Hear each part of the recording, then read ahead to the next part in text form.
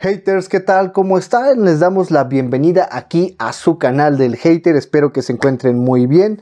En esta ocasión les traemos una nueva reseña y eh, es turno de hablar de el más reciente álbum de la legendaria banda Dark Throne. Entonces, sin más preámbulo, vamos a comenzar con este video. Haters, qué chido que se estén reventando nuevamente otro más de nuestros videos. Como siempre les agradezco de corazón su preferencia. Como ya comenté al inicio, en esta nueva reseña toca turno de hablar del más reciente álbum de estudio de la banda Dark Throne. Este trabajo que lleva por título It Beckons Us All. It Beckons Us All salió a la venta con fecha del viernes pasado 26 de abril y lo hizo a través del el sello Peaceville Records. Antes de continuar y como siempre les hago la invitación a que si aún no se han unido a la horda hater pues los invitamos a que se suscriban, que comenten, que den like y que compartan, nos ayuda mucho a llegar cada vez a más haters en potencia allá afuera. También no olviden que ya tenemos activa nuestra cuenta de Instagram, esta que está apareciendo aquí en el video para que vayan, ahí nos sigan, tenemos contenido diferente al que tenemos aquí, algunos también que se hacen aquí en el canal de YouTube se comparten allá y viceversa, pero siempre van a encontrar cosas distintas en ambos canales, en ambos eh, pues, redes sociales. Muchas gracias de antemano, haters. Volviendo a nuestra reseña, eh, pues ¿Qué podemos decir realmente que ya no se sepa de Darkthrone? No creo que la mayoría de los que eh, se pueden considerar a sí mismos metalheads, metaleros, conocen a Darkthrone, una banda noruega que originalmente eh, podría entrar dentro del género black, pero que en la actualidad y desde hace ya varios años mezcla eh, ese sonido y de hecho muchas veces se ha visto superado por un sonido más de death metal, también heavy metal, speed. Es una gran mezcla de, de grande en cuanto a cantidad de varios subgéneros del metal que pues hacen que tengan un sonido bastante único. La banda oriunda de Noruega, eh, pues su fundación data del año 1987 y eh, actualmente y desde hace ya muchísimo tiempo está conformada por la leyenda que es Fenris y por Nocturno Oculto.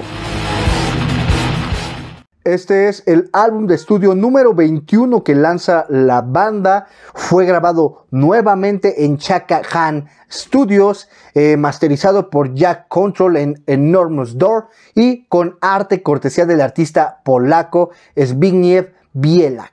La canción titulada The Heavy Hand está dedicada a Vidar Langerund.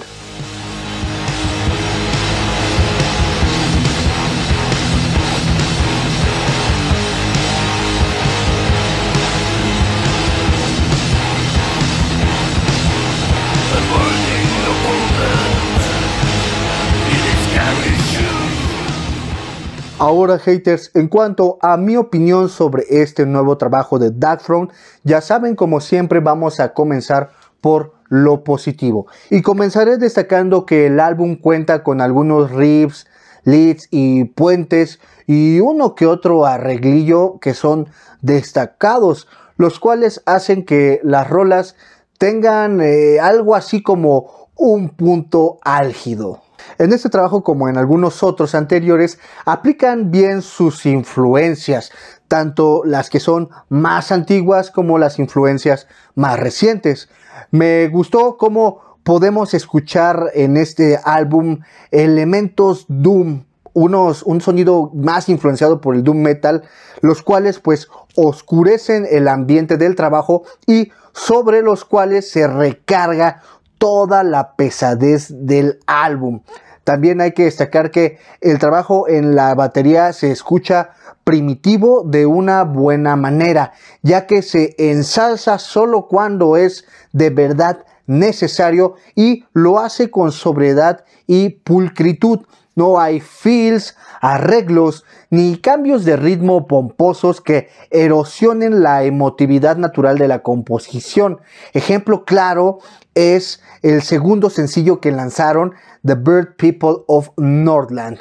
También me encantó la nitidez, a pesar de que es un sonido bastante crudo, bastante frío el que se puso en la producción y en la, la mezcla del trabajo, pues tiene mucha nitidez y se aprecia esto a lo largo de todo el trabajo, sin importar a qué elemento nos estemos refiriendo todos tienen un sonido 100% distinguible y fundamental, lo que hace que pues todos contribuyan de una manera bastante equitativa al sonido resultante del trabajo.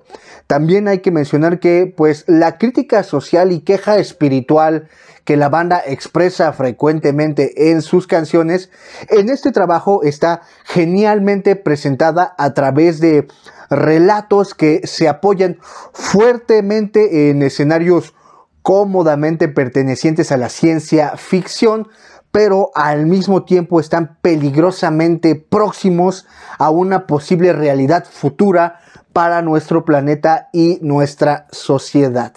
También hay que decir, y por último, que eh, la forma en que se decidió colocar las rolas, el orden que se les dio, pues genera una dinámica en la que se escucha con mucho sentido. Sonoramente puedes identificar muy bien, con toda claridad, cuando estás al principio, en el desarrollo, en la cúspide y en el desenlace del material. Eso, pues, no creo, no crean que se, se logra fácilmente. Y en mi opinión, es un aspecto que debe reconocerse y felicitarse.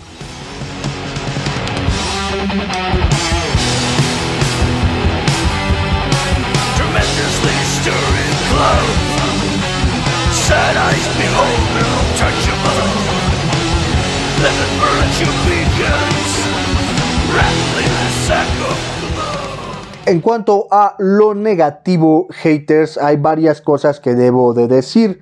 Eh, debo empezar mencionando que su neutralidad o ambivalencia genérica ya les está jugando en contra porque la mayoría de las rolas suenan no acaban de definirse bien en qué sonido están cayendo. Yo sé que la intención de la banda es no encasillarse en un solo género, pero al no recargarse más fuertemente en uno o en otro, pues el sonido del material de alguna manera queda mucho en el aire y esa tibieza que escucho en los materiales de la banda y en las canciones de este álbum, creo que ya chole, ya no, ya no está sonando muy bien, ya suena más a falta de identidad que a no querer dejarse amarrar por etiquetas. Eh, como no son una banda de death, no son lo suficientemente agresivos o machacantes, como no son black, no son suficientemente fríos ni atmosféricos. Como no son heavy metal clásico, no son lo suficientemente melódicos eh, o ligeros o divertidos. Y como realmente tampoco son speed, no lo son lo suficientemente rápidos ni vertiginosos. También debo decir que la melodía vocal en cuanto al ritmo y pues eh, melodía es prácticamente inexistente, lo cual es una verdadera injusticia para rolas como Howling, Primitive Colonies o Black Dawn Affiliation, que tienen riffs, leads y puentes con un gran potencial para crear melodías vocales que maximicen esos elementos, pero en su lugar se optó por acompañarlas por una narrativa con nula rítmica. La única rola que en mi opinión se salva mayormente de esto es The Heavy Hand, lo cual es para mí una lástima porque las letras no son malas en sí, tampoco son grandiosas, pero no son malas en sí, pero sin la rítmica adecuada, pues les das en la madre por completo. Aunque sea, le hubieran puesto una melodía pues aunque sea mala, pero ya una melodía que más o menos funcionara un poco con la dinámica de la canción. Eso hubiera sido menos peor que dejarla como una mera narración encima de la música. Ellos nunca se han distinguido por lo que comenté que creo que deberían haber hecho con la voz, ¿no? nunca han sido su mayor fuerte. Pero imagínense si su legado es tan grande así como está en este momento, sin el cuidado de esos elementos, ¿en dónde estaría Darkthrone ahora de tener esos elementos mejor trabajados, mejor tratados en sus canciones? También hay que decir que la rola instrumental que está aquí en el trabajo es completamente intrascendente. Y por último, haters, mencionaré que en muchas ocasiones eh, suena que se les acaba el gas a media rola o a tres cuartos de la rola. Y eso se nota, se nota que se quedaron sin ideas y de una manera totalmente arbitraria y totalmente, yo creo, equívoca, dejaron las rolas agonizar. Hasta parece que dijeron, bueno, ya la chingada, así quedó y vámonos a lo siguiente.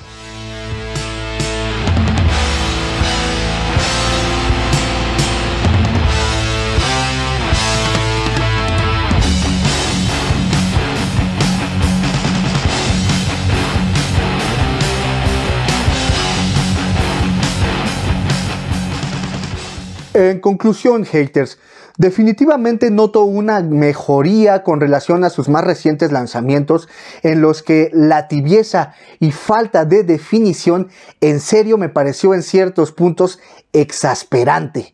Aquí muchos de los puntos negativos de trabajos anteriores aún sobreviven, pero definitivamente cada vez con menos peso en el resultado final del trabajo, lo cual abre la ventana para que se cuele un sonido mejor tratado y con una esencia que está dejando de ser amorfa para convertirse en una más flexible. Suena a que ya están entendiendo que no es lo mismo ser versátil a carecer de una identidad definida.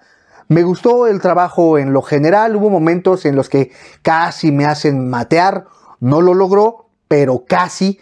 Si bien no creo que este álbum todavía sea lo suficientemente bueno para hacer justicia a la historia de una de las bandas que ayudó a definir todo un subgénero, vaya que es una mejora palpable y el giro de timón necesario para que Darkthrone tenga la posibilidad de retomar el curso a la grandeza en la que por derecho deberían navegar tranquilamente.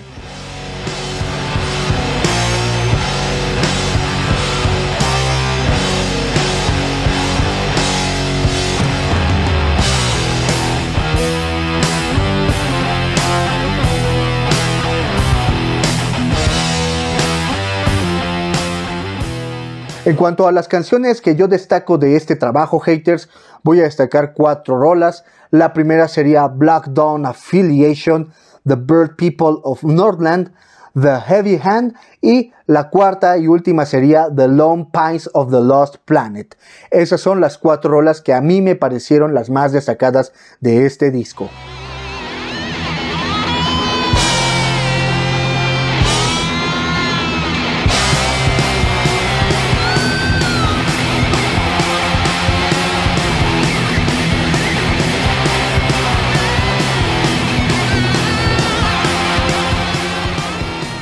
En cuanto a las ediciones disponibles del disco, está en su edición digital. Ya saben, como siempre en la descripción del video encuentran los links relacionados al lanzamiento para que puedan echarle una escuchada. También está en su edición de CD en Google Case y salieron varias ediciones de vinilo. Salió en una edición de vinilo negro limitada, la cual ya está agotada. También salió en una edición Blue Marble, que es la Fenris Edition, también edición limitada que ya está agotada. Salió otra en Great Marble Nocturno Oculto Edition, también totalmente agotada. Eh, también salió una edición en Crystal Clear limitada a 250 piezas, todavía hay algunas piezas.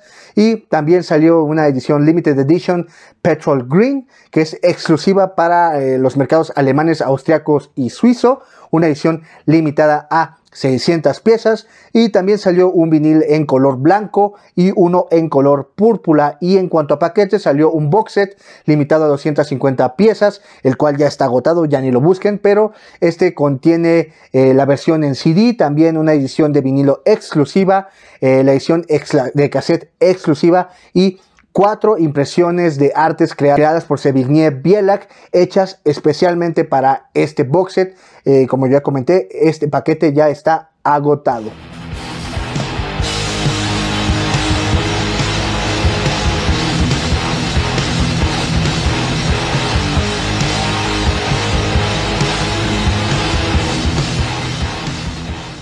Ahora, haters, en cuanto a la calificación que le voy a otorgar a este más reciente trabajo, álbum número 21 de Darkthrone, los noruegos leyendas del black y del metal en general, este álbum titulado It Beckons Us All, lanzado a través de Peaceville Records el viernes pasado, le voy a otorgar un 8. Así es que haters, esa es mi opinión de It Beckons Us All, el nuevo álbum de Darkthrone. Espero que les haya gustado. Si fue así, no olviden apoyarnos con su like y apoyar a la banda y al sello escuchando y comprando solamente de sus fuentes oficiales este nuevo material y todos los demás que tengan. Nos estamos viendo en el siguiente video, haters. Por favor, cuídense mucho. Hasta luego.